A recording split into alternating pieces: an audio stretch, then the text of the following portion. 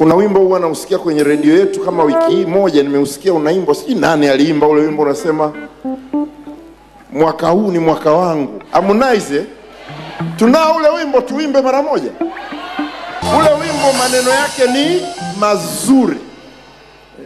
Yule kijana huenda, nafikiri njia ya Mungu inaanza kumjia yule, anahitaji kuokoka sasa eh? Manake ule mimi sijawahi kusikia mwimbaji wa hizi nyimbo za kawaida, nilivyoambiwa jina hilo nikasema "Em, huyu njia ya wokovu iko mbele yake, kwa sababu ule wimbo ni msafi, hauna neno chafu hata moja. Kuna mpaka maneno yale, hakuna Mungu kama wewe yawe eh?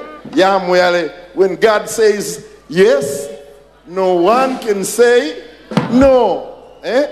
Yale maneno yale yako mle ndani. Ule wimbo ni mzuri. Mi ningependa Tanzania wajue kwamba nabii mkuu amependa wimbo wa Harmonize.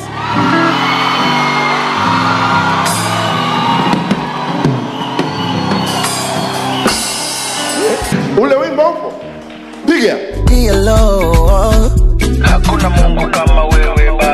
ameanza kuimba kwa kusema mwaka huu nimetubu dhambi zote, sina dhambi. Mungu anajua jinsi ya kutafuta watu. Amen.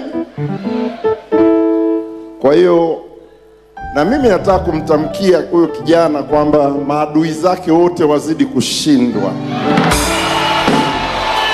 Kwa wimbo huu tu, maadui zake wote wazidi kushindwa.